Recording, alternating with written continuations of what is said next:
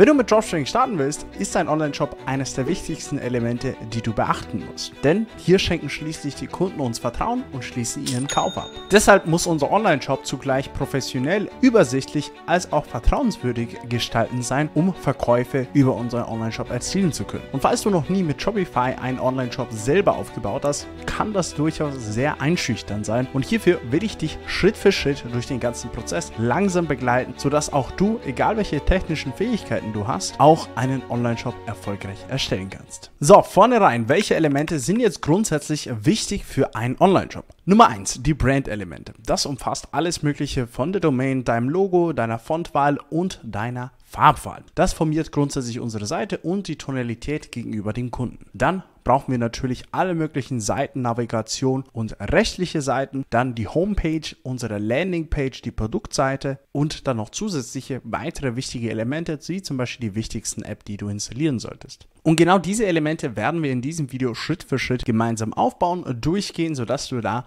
auch keinerlei Probleme mehr hast. Zum Zweck dieses Tutorials werden wir den Shop basierend auf diesem Produkt hier rundherum bauen. Dieses Produkt hat schon extrem gute Ergebnisse international erzielen können und wir werden das ganze Beispiel anhand von diesem Produkt erstellen. Heißt aber nicht, dass ihr eins zu eins diesen Shop kopieren sollt und direkt dieses Produkt testen sollt. Aber grundsätzlich könnt ihr viele Elemente dieser Struktur von diesem Shop durchaus übernehmen. Jetzt starten wir mit dem ersten Punkt, das ich erwähnt habe, und zwar der Brand Image. Hierbei ist der beste Tipp, den ich von Anfang an euch geben kann, ist das Ganze möglichst simpel zu halten. Nicht groß überkomplizieren und bei den Farben letztendlich zwei bis drei grundsätzliche Kernfarben zu nehmen, die auch miteinander passen und harmonieren. Also wir wollen definitiv nicht sowas, wo alle möglichen Farben kreuz und quer zusammengewürfelt werden, sondern wirklich, das soll ein vertrauenserweckender Shop sein und für mich ist das direkt zum Beispiel abstößend. Falls ihr grundsätzlich Probleme mit der Kreativität habt und nicht ganz sicher seid, welche Farben letztendlich gut zusammenpassen oder welche Farben ihr überhaupt nehmen sollt, nutze ich ganz gern diese Seite hier und zwar heißt die Colors. Und hierbei können wir den Generator nutzen, dazu, um letztendlich möglichst viele Farben generieren zu lassen. Hier können wir dann alle möglichen Farben mal durchtesten und mit Leertaste neue Farben generieren lassen. Sobald euch eine Farbe gefällt, beispielsweise Orchid, könnt ihr diese einfach abspeichern und rüberziehen nach ganz links oder auch in der Mitte lassen oder favorisieren. Und falls euch diese Farbe gefällt, kopiert ihr einfach den Hex Farbencode und könnt ihn dann überall nutzen und kopieren. Alternativ könnt ihr dann verschiedene Shades, also verschiedene Schatten nutzen und noch weitere Komplementärfarben dadurch finden, indem ihr diese nebeneinander legt. Also das Tool ist super simpel zu nutzen und eigentlich ganz hilfreich. Wir machen weiter mit dem nächsten Element des Brand Images und zwar der eigentlichen Domain. Ziel ist es hierbei auch wieder Vertrauen zu erwecken und die Domain sollte kurz, knackig und prägnant und einfach leicht merksam sein. Und wie könnt ihr das Ganze finden oder wie könnt ihr passende Domain-Ideen sammeln? Einerseits könnt ihr natürlich selber creative werden und vielleicht verschiedene Wörterkombinationen zusammen kombinieren und dann eben über Domain-Check überprüfen, ob das letztendlich noch verfügbar ist. Alternativ, was ich zurzeit ganz gern mache, ich lasse mir Ideen von ChatGPT generieren. Das geht super easy mit einer kinderleichten Prompt. Ihr könnt diese Prompt genauso übernehmen, findet 10 passende freie Domainnamen für einen Laser-Produkte Online-Shop. Das waren unter anderem die Ergebnisse, die für mich rausgespuckt wurden. Laserrazor.shop, laserhairauf.de, smoothlaser.net, lasershave.de. Falls solche Namen dir nicht gefallen, kannst du natürlich 10 weitere generieren lassen oder 20 weitere generieren lassen. Aber was ich dann ganz gerne mache, ich finde meine Lieblingsdomain, zum Beispiel lasershave.de, falls diese frei wäre, checke ich das Ganze bei allen möglichen Seiten, wie zum Beispiel Check Domain. Gebe diese Domain einfach hier ein und überprüfe das Ganze, ob diese Domain auch wirklich frei ist. Und wir sehen hier, tatsächlich ist diese Domain frei. Also würde ich diese nehmen, denn das ist eine fantastische Domain und diese könnten wir letztendlich testen, unser Logo drum bauen und unsere Brand Image basierend auf lasershave.de aufbauen. Weiter geht's mit dem nächsten Element für dein Brand Image und zwar ein passendes Logo zu erstellen. Das Logo muss natürlich passend zu deiner Nische und zu deinem Produkt sein und natürlich zugehörig zu der Domain. Das Ganze soll aber gar nicht so komplex sein und es reicht, wenn es komplett simpel ist. Oftmals nutze ich sogar Logos nur mit Font, also nur mit Schreibschrift, ohne zusätzlichen Icons, um das Ganze nicht so komplex zu machen, denn ich will eigentlich, dass es clean und minimalistisch ausschaut, aber wenn ihr passende Icons dazu findet, könnt ihr diese gerne passend dazu anhängen. Ich rate euch am besten, das via Photoshop oder Canva zu erstellen, falls ihr keine grafischen Fähigkeiten habt und ihr sagt, ach, das traue ich mir nicht zu, könnt ihr natürlich für 5 Euro, 10 Euro alternativ über Fiverr erstellen lassen. Aber wir können das Ganze gemeinsam jetzt ganz schnell in Canva erstellen. Wie gesagt, ich werde das Ganze hier aber nur ganz simpel danach erstellen. Hier gibt es viele verschiedene Optionen direkt unter Text. Ihr könnt hier unter Elements auch passende Elemente hinzufügen, die für euch zum Beispiel relevant wären für die Nische. Aber ich mache hier jetzt einfach ein passendes Logo. Hierfür finde ich diese Font eigentlich ganz cool und ich werde das Ganze natürlich Lasershave nennen dementsprechend richtig formatieren, größer machen, dass die volle Breite füllt. Falls ihr euch wundert, welche Dimensionen ich hier gewählt habe, das sind 1500 mal 300. Somit muss ich das Ganze nicht viereckig oder sonstiges zurechtschneiden und habe somit schon eine sehr gute Größe für mein Logo. Falls ihr nicht zufrieden seid mit der Domain-Wahl, ich habe jetzt hier einfach eine genommen, die mir eigentlich ganz gut gefallen hat, könnt ihr natürlich hier oben links passende Domains hiervon auswählen. Da diese Textfarbe für uns nicht passend ist und ich plane eher so ein lilanes Element zu nehmen. Und zwar würde ich das Ganze einfach hier so anpassen und so ein helles Lila tatsächlich nehmen, da unser Rasierer eher in einem lila Ton gestalten ist. Die Effekte nehme ich hinten raus, obwohl die manchmal gar nicht so, so schlecht sind, aber das kommt jetzt eh weg. So sieht unser Logo jetzt erstmal aus. Sieht jetzt natürlich jetzt nothing special aus, aber auf der Seite wird es dann doch relativ clean ausschauen. Und dann, sobald euer Logo fertig ist, könnt ihr das Ganze einfach hier sehr simpel unter Download als PNG mit transparentem Hintergrund runterladen, falls ihr Canva Pro habt. Alternativ müsst ihr diesen Hintergrund mit Remove Background oder alternativ direkt über Photoshop ausschneiden. Jetzt haben wir die essentiellen Brand-Image-Elemente erstellt, bearbeitet und wir können jetzt direkt mit dem Shopify Shop-Aufbau starten. Das Gute ist, so aktuell könnt ihr Shopify drei Tage lang komplett kostenlos ohne Kreditkarte testen und dann drei Monate jeweils nur ein Euro im Monat zahlen. Falls ihr das Ganze selber starten wollt, findet ihr unten den Link in der Videobeschreibung. Es gibt wirklich wirklich keine bessere Zeit als jetzt Shopify zu starten. Also springen wir direkt hinein. Zuvor habe ich noch ein extra Gmail-Konto basierend auf diesen Daten erstellt, sprich lasershave at gmail.com, um das Ganze auch hierfür zu nutzen. Das könnt ihr theoretisch alles überspringen, müsst ihr eigentlich nichts angeben. Country Region machen wir Germany und dann müsst ihr im nächsten Schritt eure Shopify-ID erstellen. So, so sieht das Ganze für euch erstmal aus, sobald ihr euch ein Konto angelegt habt. Nicht verwirrt sein, es gibt viele Menüs, das verstehe ich, aber zu Beginn sind für euch erstmal diese nur relevant. Und zwar, wir haben hier Home, da passiert eigentlich fast gar nichts. Bestellungen, hier kriegt ihr natürlich die ganzen Bestellungen rein, um diese abzuwickeln. Produkte hier verwalten und werden wir gleich ein Produkt hinzufügen. Dann haben wir unter Kunden, ist auch für uns zu Beginn nicht relevant, genauso wenig wie Inhalte und Statistiken. Unter Statistiken, unter Statistiken werdet ihr, denke ich, euch am meisten aufhalten, sobald der Show eigentlich live ist. Marketing werden wir auch wenig bis gar nichts machen, da wir letztendlich das Marketing tatsächlich in den eigenen Ad-Dashboards machen. Rabatte könnt ihr Rabatte hinzufügen, falls notwendig. Unter Apps hinzufügen, fügen wir alle möglichen Apps hinzu. Unter Einstellungen findet ihr folgende Informationen, Shop-Details etc. Bei Plan würde ich euch auf jeden Fall immer den Basic-Plan anraten. Mehr braucht ihr da diesbezüglich eigentlich nicht. Unter Zahlungen müsst ihr dann Shopify Payments aktivieren und ich rate euch noch zusätzlich PayPal, falls möglich. Dann Versand und Zustellung erstellt ihr die passenden Versandtarife. Märkte, falls ihr euch entscheidet, international zu schalten, ist es wichtig, unter Verwalten drauf zu klicken und dann aktiv zu stellen, denn sonst könnt ihr nicht nach Österreich und Co. verkaufen. Unter Domains würde ich hier dann eben die passende Domain für mich kaufen, eben in dem Fall lasershave.de. Alternativ könnt ihr das natürlich noch zusätzlich auf GoDaddy oder Ionos kaufen. Unter Sprachen könnt ihr euch eure Sprache abändern. Bei uns ist der Standard jetzt auf Englisch und wir ändern das jetzt zum Beispiel auf Deutsch. So, das sind für mich die grundsätzlichen Anstellungen, die ich mache. Die Zahlungen, die Versandoptionen, die Märkte und auch die Sprache natürlich. Und dann gibt es noch natürlich folgende Menüs unter Online-Shop. Wir haben hier unseren Shop hinterlegt. Hier können wir folgende weitere Elemente bearbeiten, wie zum Beispiel den Code oder die Standard-Theme-Texte, aber das ist etwas komplexer und falls ihr den Shop eigentlich anpassen wollt, klickt ihr natürlich hier auf Anpassen. Zuvor will ich aber noch die passende Theme-Option für mich finden. Hierbei müsst ihr das Ganze auch nicht überdenken und viel Geld für bezahlte Themes ausgeben, denn meiner Meinung nach sind viele kostenlose Themes sogar noch besser. Und das sind jetzt meine Favoriten. Hierfür klickt ihr einfach auf zum Theme Store, diesen Button hier und dann werdet ihr direkt zum Theme weitergeleitet. Ihr seht hier, wir haben hier ganz, ganz viele verschiedene Themes, von denen wir uns beliebig eins auswählen können, aber ich navigiere ganz gern hierfür unter Free. Ihr seht hier, wir haben insgesamt zwölf verschiedene Optionen für Free Themes.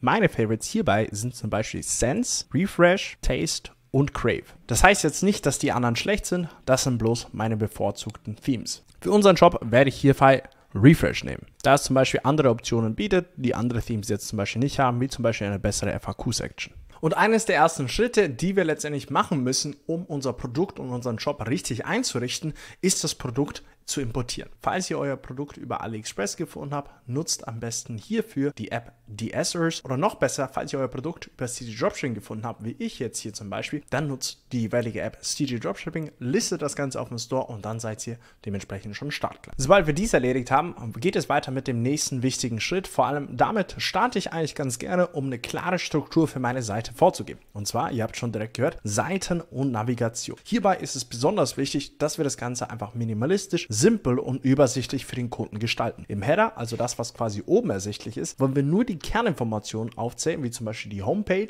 diesen Link zum Shop bzw. zum Produkt, eventuell die Kontaktseite und dann noch Paketverfolgung. Und im Footer, also unten, hebe ich meistens quasi die rechtlichen Seiten, wie zum Beispiel Impressum, AGB, Datenschutz, Widerruf und Versand auf, sodass die Kunden alles Mögliche finden können, was letztendlich für sie relevant ist. Die Seiten kannst du hier jeweils unter Seiten erstellen. Dafür klicken wir einfach hier unter Seite hinzufügen und wir können jetzt die jeweilige Seite hierfür anlegen wie zum Beispiel die erste rechtliche Seite Impressum. Für die Erstellung eurer rechtlichen Seiten empfehle ich hierbei ganz stark Händlerbund. Dafür reicht vollkommen das 10 Euro im Monat Paket aus. Das geniale Händlerbund ist, ihr könnt kinderleicht rechtssichere Texte auf Knopfdruck erstellen, indem ihr einfach eure Eckdaten angibt und dann werden die automatisch für euch generiert. Von Impressum, AGB, Datenschutz zu Widerruf, alles wird für euch erstellt und dann könnt ihr diese einfach hier rein Copy-Paste. Und eine Thematik, bevor sie noch kommt, ja, ihr braucht ein Gewerbe. Ein Gewerbe braucht ihr in den meisten Fällen mit dem Ziel Profit- und Gewinnorientierung. Also ja, rein rechtlich braucht ihr ein Gewerbe für Shopify Dropshipping. Sobald ihr quasi eine Seite erstellt habt, könnt ihr diese einfach ganz leicht duplizieren, wie zum Beispiel hier abändern, Datenschutz und dann jeweils die generierten Texte von zum Beispiel Händlerbund hier reinkopieren. Sobald wir unsere Seiten erstellt haben, können wir diese unter Navigation passende Navigationen erstellen, wie zum Beispiel den Footer oder den Header. Dabei nutze ich genau wie im Vorhinein die erklärte Struktur. Jetzt machen wir weiter mit dem nächsten Element unseres Shops, der eigentlichen Homepage. Hierbei ist es auch wichtig, das Ganze möglichst simpel transparent und übersichtlich zu gestalten. Das Letzte, was wir schließlich wollen, ist, wenn Sie von unserer Produktseite auf unsere Homepage kommen, dass Sie einerseits abgeschreckt sind und nicht zurück zum Kauf finden können. Sprich, was wir eigentlich wollen, ist unsere Kunden möglichst zielgeradig zur Landingpage zurückzukriegen, da sie dort letztendlich den Kauf abschließen. Um euren Shop bearbeiten zu können, müsst ihr hier einfach unter Anpassen drücken und dann werdet ihr hier weitergeleitet. Das ist die grundsätzliche Struktur, die wir direkt bekommen. Ihr könnt ganz einfach Elemente ziehen und verschieben, einfach mit dem Drag-and-Drop-Prinzip. Ihr könnt diese auch verstecken mit dem Auge, ganz leicht oder theoretisch auch hier löschen. Für mich, ich lösche jetzt diese E-Mail-Sektion. Ich stelle euch das Ganze mal kurz zusammen, wie ich meine Sektion und meine Struktur beibehalte. Ich füge hier zum Beispiel drunter unter dem Banner einen Rich-Text hinzu.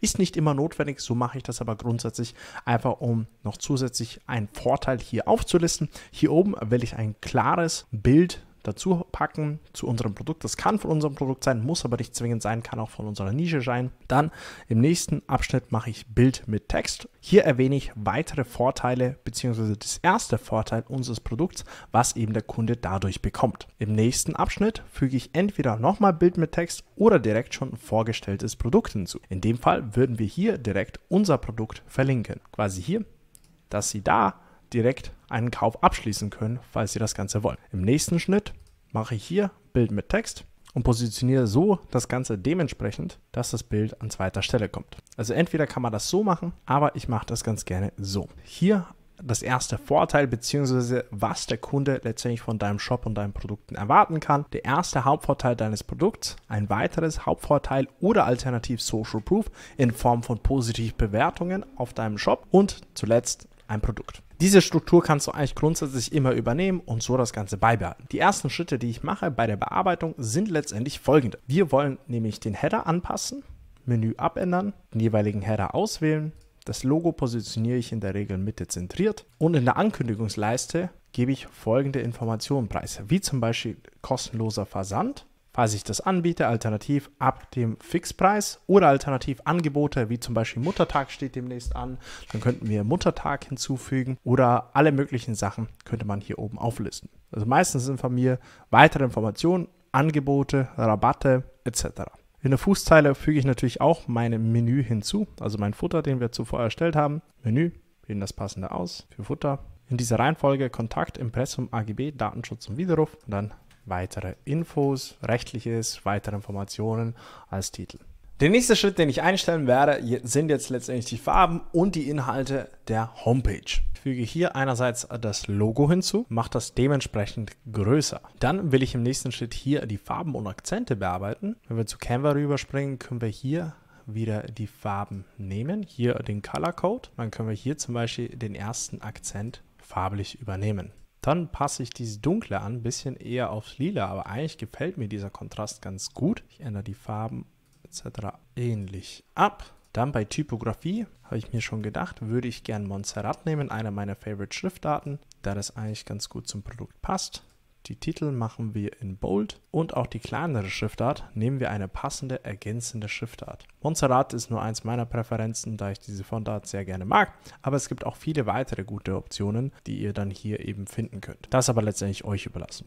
Dann, was auch sehr wichtig ist, ist, dass wir direkt für Checkout das Ganze anpassen und hier auch unser Logo hinzufügen und auch Farben und Akzente dementsprechend auch direkt überarbeiten. Bei der Slideshow, also bei diesem Header hier, entferne ich meistens die Texte, aber alternativ kann man da ein passendes Call to Action hinzufügen. Wir machen das Ganze einfach hier alles raus und Container nicht auf Desktop anzeigen. Da können Sie natürlich die kostenlosen Bilder entdecken, etwas selber in Photoshop zusammenstellen oder alternativ passende Bilder auf anderen Stock-Image-Seiten finden, wie zum Beispiel Raw Pixel, Elements, Envato etc. In der nächsten Sektion unter Rich Text wollen wir das Ganze auch einfach dementsprechend farblich abstimmen. Ich nutze gern das Schauen wir mal, ob das Ganze auch lesbar ist. Alternativ kann man auch diese Option nehmen und dann füge ich hier quasi ein Benefit, was die Kunden auf unserer Seite finden können und welche Produkte und Qualität sie erwarten können. Für die einzelnen Sektionen habe ich schon bereits Texte vorbereitet und einfach direkt implementiert. Hautpflege war noch nie leichter. Hier bei Lasershave findest du die besten und einzigsten Hautpflegeprodukte, die du benötigst für eine seidenweiche, saubere, junge und straffe Haut. Beim nächsten Element will ich hier quasi auch einen Vorteil direkt erwähnen, was die Kunden von unserem Produkt direkt bekommen. Das wäre in dem Fall Schluss mit Schnitten und Pickeln. Hier können wir auch die Textgröße der Überschrift abändern. Dann können wir unter dem Textstil das noch zusätzlich hinterlegen den Text dazu. Beim Button verlinken wir natürlich das richtige Produkt und dann auch natürlich ein passendes Bild. Beim nächsten Element will ich entweder nochmal weitere Vorteile auflisten oder theoretisch Social Proof. Hier füge ich zum Beispiel ein GIF ein von einer Person, die das Produkt direkt nutzt, ist auch eine Art von Social Proof. Zum letzten Element unserer Homepage können wir das noch schnell abändern. Zwar ich füge hier auch wieder Hintergrund 2 hinzu. Wir können auch noch zusätzlichen sekundären Hintergrund nutzen und das Ganze dann direkt formatieren. Finde ich eigentlich auch gar nicht so schlecht. Das können wir gerne so überlassen und übernehmen. Und dann ändere ich folgende Sachen ab. Hier füge ich zum Beispiel den ersten Vorteil hinzu, wie zum Beispiel Hauptvorteil Hashtag 1 oder glatte ohne Probleme zum Beispiel. Zugehöriges Emoji. Kann man das Ganze größentechnisch auch noch abändern. Und dann positioniere ich das in der Regel unter dem Titel. Dann können wir hier noch folgende Optionen ein- und ausmachen, wie zum Beispiel Variantenauswahl. Haben wir jetzt hier eh nicht. Hier entferne ich auch immer den dynamischen Checkout-Button und Teilen ist für mich auch nicht relevant. Und wenn wir hochscrollen, so sieht dann letztendlich die Homepage aus. Clean, übersichtlich. Wir haben hier mehrere Links direkt wieder zum Shop, zum Produkt. Wir haben hier drei verschiedene Optionen, theoretisch vier, wenn man darauf klickt und sie werden immer direkt zur Produktseite weitergeleitet komplexer und mit mehr Infos braucht ihr letztendlich eure Homepage gar nicht gestalten. Zusätzlich, was ihr noch machen könntet, wäre unter dem Produkt direkt noch Reviews mit der App Lux beispielsweise einbetten. Das wäre vielleicht noch eine Kleinigkeit, die man besser machen könnte. Jetzt kommen wir zum letzten und vermeintlich wichtigsten Element unserer Seite, die Produktseite. Denn hier ist schließlich, wo wir abliefern müssen. Denn hier schicken wir unsere Kunden von unseren Werbezeigen drauf, denn hier wollen wir natürlich den Kunden zum Kauf bringen. Und welche Elemente sind besonders bei dem Aufbau eines professionellen, hochkonvertierenden Produktseite wichtig? Einerseits brauchen wir hochqualitativen Content, zugleich inhaltlich, aber auch bildliches Material, sprich GIFs, Videos und Bilder. Es reichen oftmals nicht schlecht echte Supplier-Bilder. Wir müssen die entweder selber erstellen, überarbeiten mit Canva, Photoshop und Co. oder alternativ diese selber machen einfach um eine höhere Conversion Rate zu haben. Viele Supplier haben schon direkt gute Qualität von Bilder und Content, aber nicht jedes. Hierzu habe ich schon äh, meine Bilder und Content Pieces bereits überarbeitet und werde die nur noch einfügen. Weiteres Element ist zum Beispiel, dass wir unsere Produktbeschreibung und unsere Texte nicht unnötig in die Länge ziehen. Natürlich dort eben ausführlicher schreiben, wo es notwendig ist und vielleicht ein paar weitere Eck- und Detailpunkte hinzufügen. Aber wir wollen das Ganze nicht unnötig in die Länge ziehen, denn da verlieren wir nur wichtige Kunden. Denn unsere Kunden wollen nicht ewig lang lesen. Die wollen einfach die wichtigsten Daten und Kernpunkte an einem Überblick ablesen können. Dann wollen wir natürlich auch passend die Hauptvorteile auflisten. Was bringt unser Produkt eigentlich unserem Kunden? Warum sollten sie das kaufen? Dafür kann ich mich einerseits an erfolgreichen Competitoren orientieren, die Texte selber schreiben, alternativ bei Amazon und auch den Bewertungen schauen und zugleich auch ChatGPT fragen, welche Vorteile man dadurch hat. Somit hast du eine große Liste und kannst dementsprechend abwiegen, welche Vorteile dem Kunden am ehesten überwiegen. Dann ganz wichtig, wir brauchen Social Proof. Also es muss quasi bewiesenermaßen den Kunden geholfen haben. Wie können wir das Ganze am besten ausdrücken? In Form von positiven Kundenbewertungen. Sind wir mal ehrlich, würdest du auf einer Online-Shop-Seite kaufen, wo du noch nie zuvor drauf warst und keine positiven Bewertungen drauf sind? Eher nicht. Also wir schauen als Kunde automatisch auf die positiven Bewertungen, vor, vielleicht sogar Vorher-Nachher-Effekte mit echten Kundenbeispielen und diese können wir am besten mit der Shopify-App Lux Reviews oder alternativ zum Beispiel Judge Me direkt auf unserer Seite implementieren. Mit aussagigen Reviews können wir natürlich deutlich eher den Kunden zum Kauf stimmen. Und zusätzlich können wir alternativ noch ganz unten eine FAQ-Section anhängen,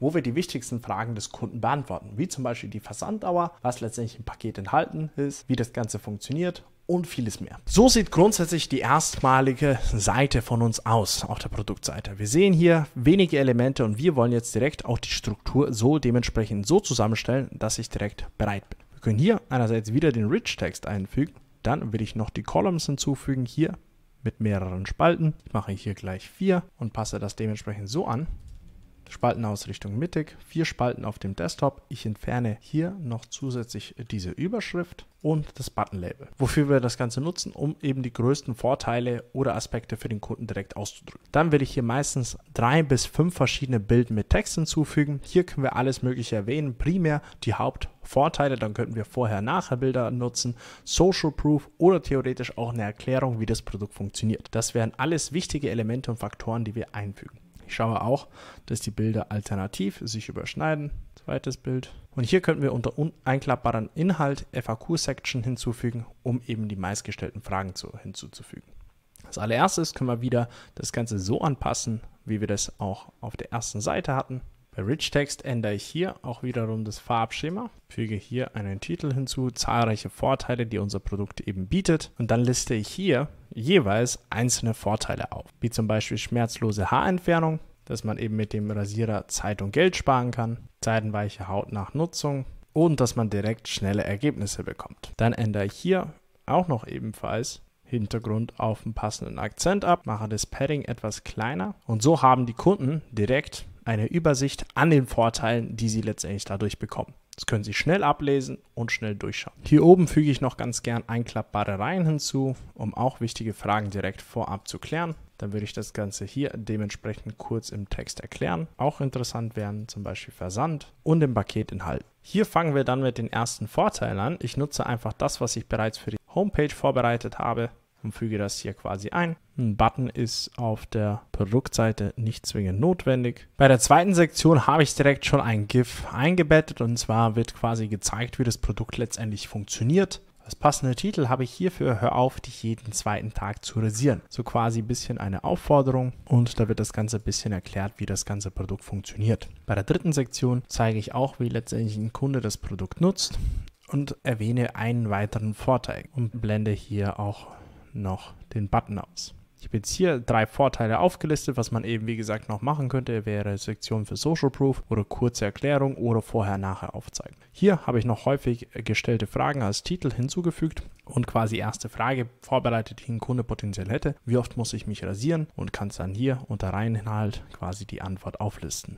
Ein bis zweimal die Woche, was auch immer. Und so sieht letztendlich dann unsere Produktseite aus. Wir haben hier gut hochqualitativen Content, passend zu unserer Brandfarbe alles gestaltet, beantworten hier direkt zwei bis drei wichtige Fragen, erwähnen hier die Vorteile, die unser Kunde direkt bekommt. Die Hauptvorteile werden aufgelistet und dementsprechend auch passende GIFs verwendet, um das Ganze visuell hochqualitativ darzustellen. Und zum Schluss noch häufig gestellte Fragen. Was jetzt noch eben fehlt, sind letztendlich die Kundenbewertungen. Die würde ich euch empfehlen, mit Lux oder Ali Reviews oder alternativ, wie bereits erwähnt, Judge Me zu installieren und hinzuzufügen. Aber grundsätzlich war es das Ganze auch schon. Jetzt weißt du, wie du letztendlich einen professionellen, hochkonvertierenden Online-Shop innerhalb nur weniger Minuten direkt starten kannst und somit dein eigenes Dropshipping oder E-Commerce-Business starten kannst. Aber falls dir das ganze Tutorial nicht genug war, dann habe ich fantastische Neuigkeiten für dich, denn ich habe zwei weitere offene Plätze für diesen Monat Mai in meinem exklusiven Coaching-Programm, wo ich jeden Monat nur fünf Member mitnehme und drei dieser Plätze sind bereits belegt. Also falls das Ganze für dich interessant ist und du mit Dropshipping oder E-Commerce richtig durchstarten willst mit meiner persönlichen Hilfe, wo ich dich jeden Schritt